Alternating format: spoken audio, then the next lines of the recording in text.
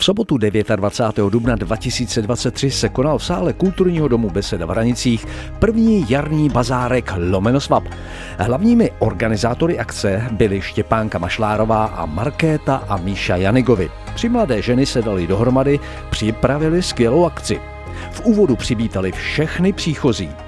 Na stáncích se objevily věci, které jsou už někde nepotřebné, ale jiným lidem by mohly udělat radost. Hlavním cílem akce podle Štěpánky Mašlárové bylo připravit neformální setkání, u kterého lze nejen nakoupit či vyměnit věci, ale také posedět u kávy, popovídat si nebo zblížit lidi.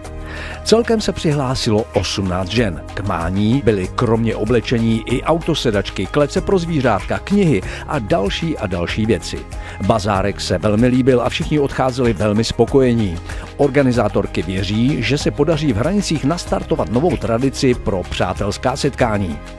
Podobné akce by mohly být organizovány například před Vánoci a třeba i venku na Masarykově náměstí. Pořadatelé děkují městu Hranice za zapůjčení sálu besedy a vstřícnost při realizaci setkání. Věci, které zbyly, budou po rozhodnutí pořadatelů a účastníků rozděleny mezi Chebskou a Ažskou farní charitu. Tak u dalšího bazárku brzy naschledanou.